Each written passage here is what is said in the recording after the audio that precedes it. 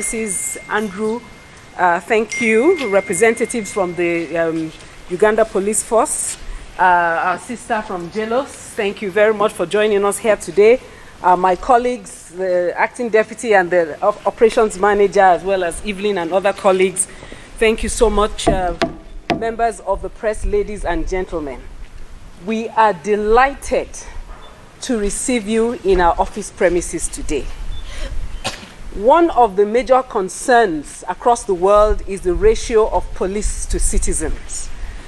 And what we're doing here today is bridging that gap. And it is a delight that we have the uh, Uganda Police Force on uh, uh, always available to partner with UN Women in terms of addressing gender-based violence. I would like first and foremost to thank you all for taking out the time to prioritize this event.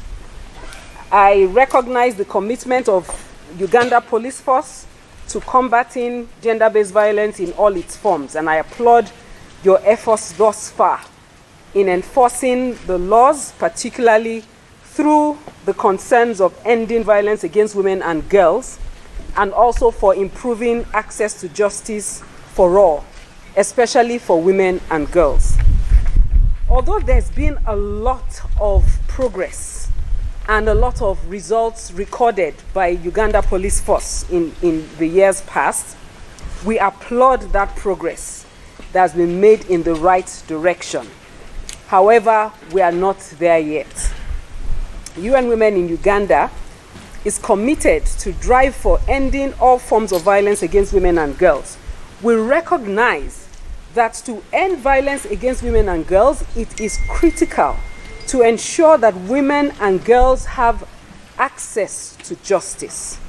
We emphasize that access to justice is an essential ingredient for effective, accountable, gender responsive justice delivery and for justice institutions, and also for the realization of the rights of women and girls, which cannot be denied and is enshrined in the Constitution. As you all already know, violence against women and girls has been on the upsurge in Uganda, especially during and after COVID 19. And this has been really exacerbated during the lockdown period and all the um, operations around uh, COVID 19. Prevalence of physical violence experienced by women and girls stands at a whooping 51%. 51, which is almost 20 or, or more than 20% higher than the African average at uh, 37%, so a little less than um, 20. This violence is perpetrated in both public and private spheres. When you think of 51%, that means half of the women in Uganda must, at some point in their lives, experienced uh, violence against women and girls. This is uh, phenomenal. In spite of the efforts that, that have been made, a lot still needs to be done regarding reporting. We were just discussing in my office regarding protecting women and girls, investigations, and provision of survivor-centered GBV case management services, as well as securing full accountability for GBV crimes. We know the culture in Africa, we know the culture in Uganda. When, for example, there's a case of GBV that's been perpetrated by a relative, we know the pressure that is put on the complainant to withdraw such cases. We need to disabuse the minds of uh, uh, uh, a, community level, the parents of, of the complainant, the parents of the victim, not to withdraw such cases and we need to help such cases to, uh, to address that pressure. Additionally, the prevailing transportation constraints significantly affects the service delivery potentials, such as the arrests of perpetrators, evidence collection, and handling, handling investigations, as well as accessing victims for the rapid response that is required in GBV cases. These challenges make it extremely difficult to provide full protection for victims and to bring the perpetrators to book. It is on this basis, therefore, that we have uh, uh, been able to work with our donors to put together the funds to purchase these very valuable assets, which include three forensic vans, soccer kits, and cameras. We are confident that these assets will greatly boost the efforts of Uganda Police Force to, as well as NGOs at the community level because there's a very strong collaboration between UPF and, and NGOs and ordinary citizens so that evidence can be collected scientifically from the scene of the crime before such gets contaminated by either human error or other elements. It will boost effective enforcement of ending violence against women legislation. It will boost our efforts to end harmful practices and it will boost our efforts to address sexual reproductive health rights as well as facilitate women and girls access to justice in Uganda. On behalf of UN Women, I reaffirm our continued support to, uh, to the mandate of UPF for the enforcement of law and order, especially for laws to end violence against women that provide for the protection, prevention, as well as accountability for GBV crimes. Uh, I had had some requests that I made in my office, but let me add some officially. One of those that I mentioned was that uh, we would like to see strengthened capability of the Uganda Police Force in terms of data generation and harmonization and um, um, putting forth the evidence to protect women and girls. Now we have others uh, I would like to list as follows. So number two, continued handling of GBV cases from a survivor-centered and trauma-informed approach. Why is this important? I know that at community level, many times the victim becomes recriminated. That person becomes the, the, the, the, uh, the criminal because the, the, the police uh, challenge her that, oh, why did you put on that dress? Or why did you do this? That's not the case. The case is the perpetrators need to be brought to book, no matter what, the, whatever situation this victim must have found themselves. The issue is that um, the mindset change at community level is critical and also with the police we want them to have that survivor centered approach so that the rights of the victim can be put ahead of other things. Continue to prioritize GBV cases perpetrated against women and girls, considering the fact that preventing, mitigating, and responding to GBV is a life saving priority and it is essential to the well being of women and girls. During the COVID lockdown, UN Women had to work with uh, JLOS and other actors and other NGOs to um, advocate for GBV cases to be identified as essential services uh, at community level because it's about life saving, it's about uh, protecting women and girls and ensuring that they have the well being uh, to uh, contribute to national development. And number four, continue not only to allocate but also increase funding and human resources to effectively handle GBV cases. So number one, data.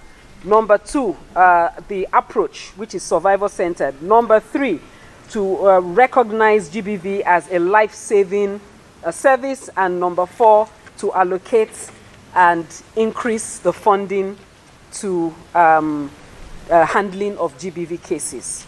Once again, AIGP. I want to thank you on behalf of UN Women and on behalf of our partners.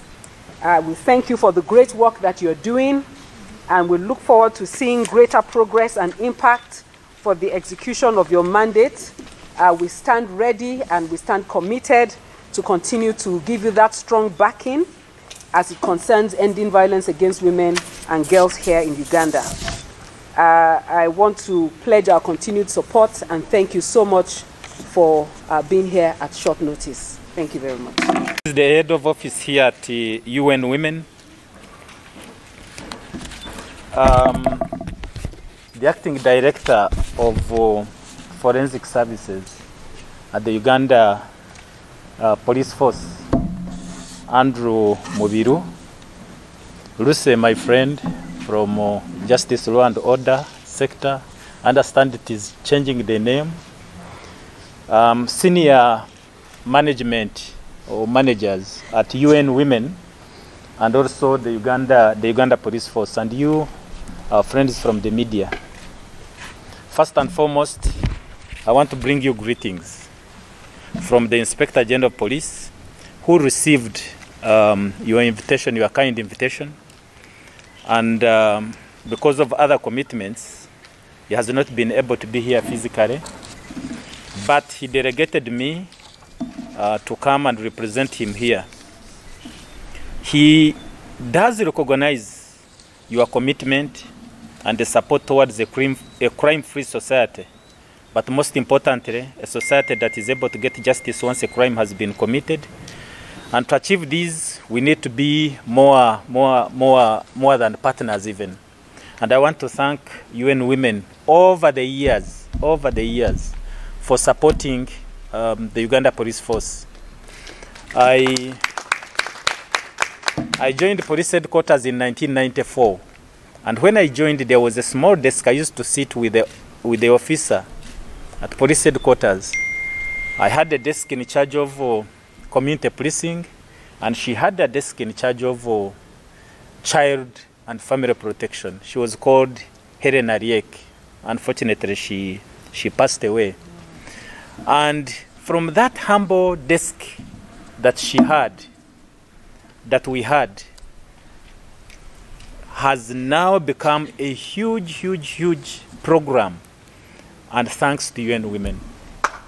Because, because you have been there and I have been seeing that up to the time when I became head of department for community affairs, but also now the director where this um, office is anchored.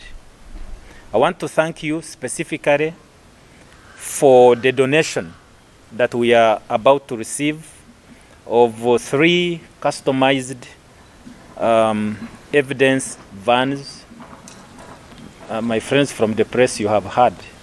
They are called customized evidence vans um, and not drones.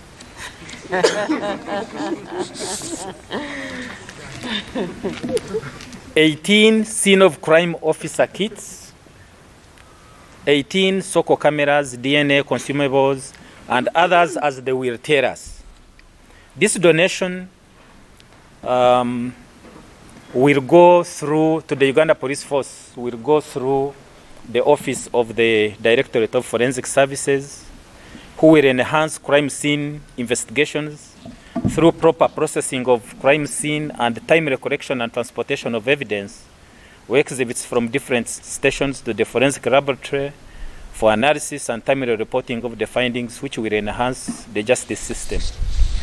I think one of the, the good things from uh, people who have what we call um, institutional memory, when this office starts, madam, there wasn't anything like an effort or capacity to collect evidence from the scene of crime.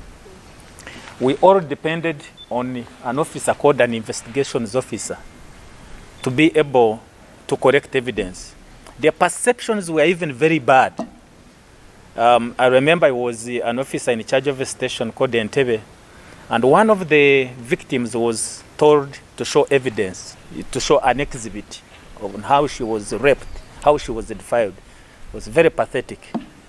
And, and if somebody has that kind of negative attitude, then how do you correct the, the, the evidence? Now we have reached a stage where we have kind of different stakeholders within the institution of the police, all geared towards um, not only protection, but also to being perpetrators of GBV to justice. Two, it's not done by one person, as I have said. For example, now there should be no justification or no excuse. There should be no excuse, actually, for us to lose cases of gender based violence. There should be no excuse because we have people who now correct the evidence at the scene of crime. And that, for me, that is very, very important. Then you have been, we have been training people who investigate these cases. But also we have trained a very good number of officers throughout the whole country who not only interview, but first of all, who provide counseling, who provide the environment that we are talking about, that uh, survivors, you, because you talked about a survivor-centered, survival-centered approach. And I can tell you this is work in progress because you have helped me and other civil society organizations to train different officers at their own districts and their own stations on matters con con concerning this. And the other one is that uh, we've been able now to work with the, of, the office of the, of the DPP, or is it called ODPP? Yes. Um, who are very, very, very, you know, um, when it comes when it comes to cases uh, the, the taken there by the police and it, uh, and these are GBV cases, the kind of uh, attention and support they give us is uh, is unprecedented, and I want to thank that office uh, for for doing that. Of course, we don't forget civil society. partners. Exactly. we don't forget civil society organizations, those that have put up reception centers. They are the, the, at the police station, but there are those that have put reception centers outside the police station. Recently, I went to Kamuli and we visited this reception center where victims of GBV are, are placed for a period until when it is considered safe. And, um, and I want to tell you if, if this is not a survival centered approach, then what is it? Uh, we, we, we need to support this and encourage more and more civil society organizations to, to support the police in terms of now giving a holistic approach towards this problem.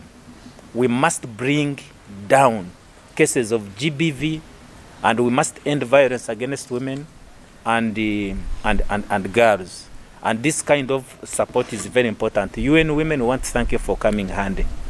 The other one is that the DNA consumables have enabled the Office of Forensic Services to process so far 56 cases. They've just started doing this, but uh, so I'm happy about process. By processing this, it means they have been able to get evidence. They have been able to uh, to process that evidence until when it is consumed by the by the investigators. And uh, so this is uh, something that we must be uh, uh, that we, we must applaud them for. They have collected a total of uh, 500 samples, specimens, 500, in, in all cases of sexual gender-based violence, um, and uh, that have been reported to to them for analysis. Now, I think I'm going to task my officers, especially those in child, um, those in community policing, to do a lot of sensitization, because it is through sensitization that uh, more. I, I believe these 500 cases is a drop in the ocean, Yes. because when you look at the annual crime report of last year, they have it. When you look at that annual crime report, cases of sexual gender-based violence are higher than the kind of uh, evidence that we have been able to provide them. Yes, there are cases that do not need to, to have evidence go to them. Direct evidence is where we, call, we have direct evidence.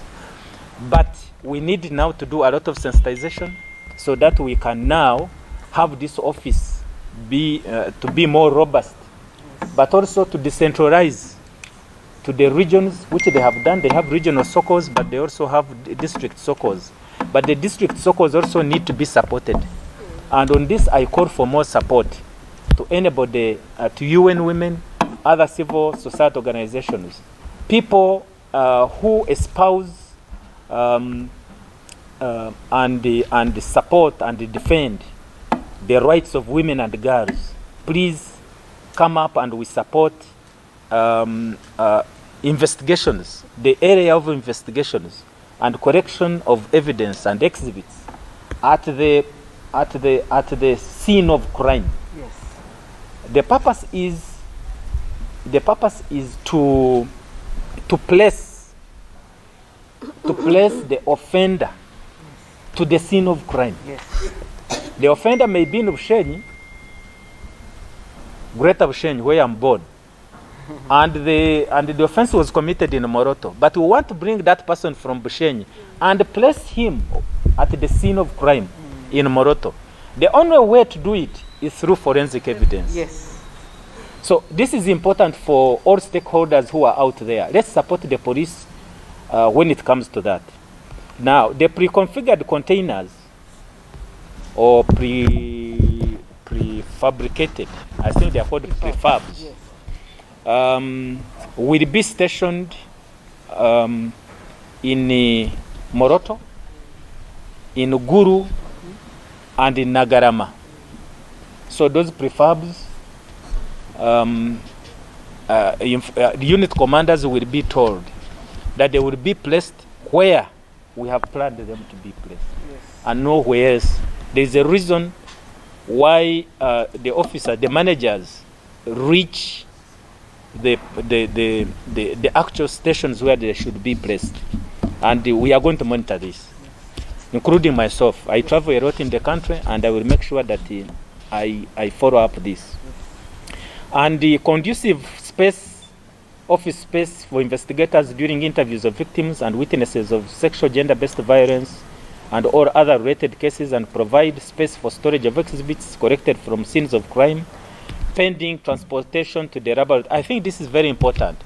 That uh, the laboratory may be here, but I think it is the the the the, uh, the preservation from the scene of crime that is very very important.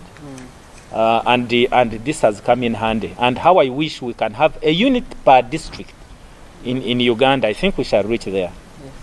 Now, UN Women um, has supported the Uganda Police Force through the Directorate of Forensics for training on correction, on preservation and storage of forensic evidence and management of SGBV and violence against children at the district level where these officers were trained, including health medical officers who examine the victims of SGBV, the desk officers for Section Children Offences Department, the Child and Family Protection desk officers, the probation officers, and the RISA, the, the regional, um, uh, the state attorney. The Uganda Police Force wishes to extend its gratitude to UN Women for their tireless efforts and support towards fighting impunity of sexual gender-based violence and protection of children. Your donation contributes to our journey towards a safe and secure society, and we are very grateful. I assure you that these donations will be put to good use and for purposes for which they were donated for UPF um, uh, to, to, to UPF, um, and we commit ourselves to follow up all SGBV VAC cases um, in most committed and, uh, and, and professional manner. Let me end my remarks by uh, looking at the, the were they four, the four issues that we talked about. Uh, uh, first of all, strengthening the data capability of, of, of the police. This is the, I wish I wish Maureen was here, but this is the area which they are doing, not only in child and family protection, but also in forensics, in CID, and uh, and now I, I- when I look at our statistics every year, I see that we are becoming better and better and better. Um, so data collection, and data generation, and coming up with proper statistics um, is very important. And I think that's how your office also, your office must be must be having this data for you to be able to plan. And this data, I can assure you, will be coming timely because sometimes we delay. You come up with the data in April? No. We should be giving you proper data, but the data that is also timely because we need to time your your your your are they financial years? Because if we don't, then we get a problem. How would you support us hmm. when we don't give you data in time? Even J- J- Jeros, they have been complaining about that. We have been trying to improve, and I hope this time by January, maybe something like January 15, we should be providing that data. I set on, on top management and we shall do that. Um, this includes the data of the girls that became pregnant um, from 18th of March to the time when um, um, the curfew and, and all this was removed. I am I'm, I'm told that we have basic data of 500,000 500,000 in the country uh, for the girls that uh, unfortunately were um, impregnated during the during the lockdown. But uh, I can assure you that uh, I have been talking with my colleague Mobiru here. We are now going to send um, targeted information to our uh, to our commanders and units or units and we are going to ask them to provide the data as much as possible. And this data is not only the cases that are being actively investigated. No. We are going to ask them to provide the data of cases that were reported. Reported cases. Because it is through reported cases that you get the actual, the, the actual story. Because sometimes these cases are not followed up. And as you are right when you say that the pressure in Africa, the pressure of the victim to withdraw the case by through culture and all this. So we are going to do that. Continue. We shall continue handling the, survi- uh, the, the survival using the survival-centered approach, which I have enumerated. I will not say again. But prioritizing GBV cases and uh, and uh, and having uh, um, uh, classifying them as life-saving cases. Yes, this is true. We, we must continue to classify GBV, VAC cases as life-saving cases because we've seen women and girls not only die, but their life changes to, to, the, to, the, to the worst. Um, um, if, if we're talking about rights of people, rights of women, and rights of girls, for somebody now to have life negatively impacted upon probably for the rest of your life mm. is uh, last last month you can advise me we saw a woman in Kayunga she hanged herself and hanged her children Yes, Kayunga. yes now when you reach when you reach a point of uh, somebody um, taking her life and taking the life of the, her precious children. We know what children mean to a mother. Now, for her, first of all, and you know, a child does not hang herself. So she must have gone through a very gruesome exercise of taking the life of one, two, and then herself. This was so, so, so sad. It was so sad. So when we talk about classifying this as life saving, we are not only talking about the victim herself, we are talking about the victim and her So people who People that depend on her. who depend on her. And for me, this is, uh, this is very important, and uh, we shall carry that message. Lastly, we have put our own um, uh, funds, our own funding. Um, I was briefing you when we were here that um, last year alone, I moved to so many districts in the country. Um, and even this year, we have uh, cascaded funding, our own funding, into our activities. It may be a drop in the ocean, but I can assure you that we shall be in 13, about 16, I think 16 districts. We shall go back to the districts that were two.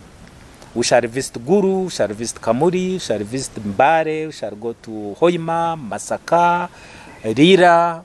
We shall go to all these places. But we're also going to look at the implementation of diversion guidelines. These guidelines have not been put in place. We don't know whether people are still stuck in their traditional way of doing things. But we must divert, especially children, from uh, going through the normal processes of, of, um, of of crime management or justice. They should be, we should be able to divert them, to change their, uh, to cancel them, and then reintegrate them within society. I, I think we are going to do that.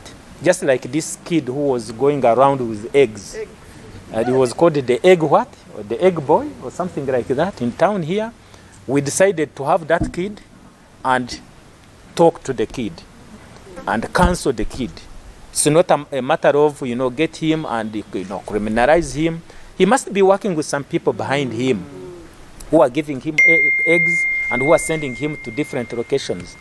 But by talking to the kid, I instructed the, our people at C, C, uh, CPS to make sure that this kid is, uh, is uh, counseled, mentored, and then reintegrated in society. So we shall have our, our funds uh, to do that, but we also need more support to be able to do this. I'm sorry I've talked a lot, but um, uh, I'm excited. I'm excited of, the- o- on this. And Mubiru, uh, if, uh, if they ask me what happened to the vehicle, or it's being used for something else, you will be in trouble with me. You'll be in trouble with me. Thank you so much, and may God bless you.